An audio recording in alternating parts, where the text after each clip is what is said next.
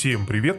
В этом видео поговорим о том, что американцы на фоне банковского кризиса спешно вывели из банков 500 миллиардов долларов. Рядовых американцев на фоне новостей о закрытии нескольких крупных банков ввиду резкого ухудшения их финансового положения хватила паника.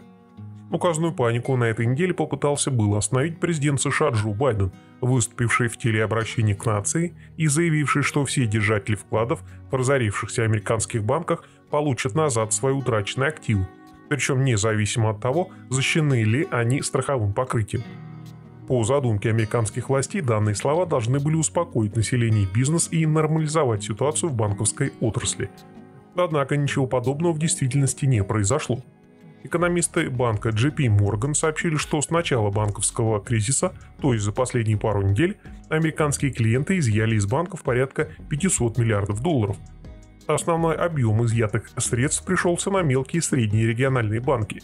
Часть выведенных средств была перенаправлена в крупные американские банки.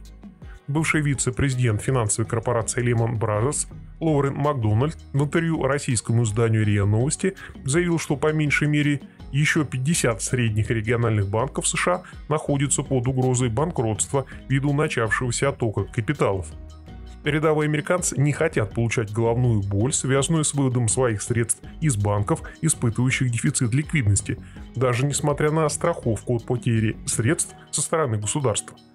Не способствует нормализации ситуации заявление монетарных властей. Вчера руководство ФРС США заявило, что оно намерено продолжить курс по повышению процентной ставки для банков в рамках борьбы с инфляцией. Вчера ставку повысили на 25 базисных пунктов и довели ее до 5%, за последний год процентная ставка в США выросла в 10 раз. Оформлять кредиты по ставке в 6-7% американский бизнес не хочет. Это лишает коммерческие банки возможности заработка. При этом база клиентов у большинства банков неумолимо сокращается, а вместе с ней сокращается и финансовая устойчивость кредитных учреждений. Американские власти обещают поддерживать американские банки за счет запуска на полную мощность печатного станка – Однако какой инфляции данная мера может привести к концу текущего года, эксперты даже затрудняются прогнозировать.